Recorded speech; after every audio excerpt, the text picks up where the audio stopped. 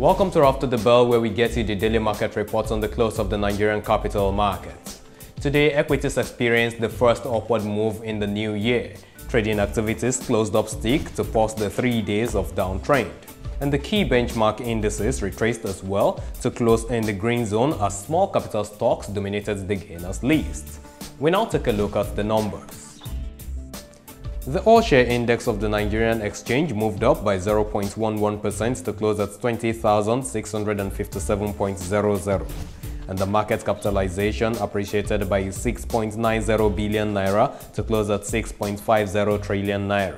Today, Diamond Bank PLC leads the top traded stocks with 51.30 million units. EcoBank Transnational Incorporation ETI traded 19.24 million units of stocks and the third on the list, Skye Bank PLC, had 13 million units.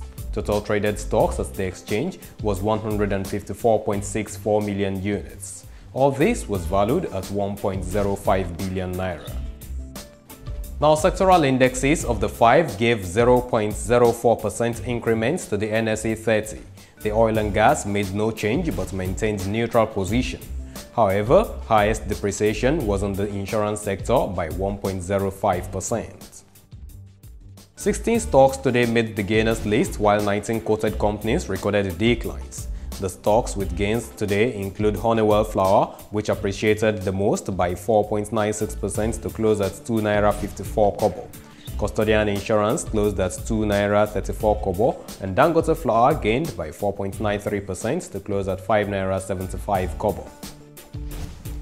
On the topmost sell of the decliners chart, Ashaka Cement dropped in price by 5%. Access Bank PLC closed at 5 naira 3 kobo and Eterna Oil continues its fall in price by 4.91% to close today at 2 naira 71 kobo.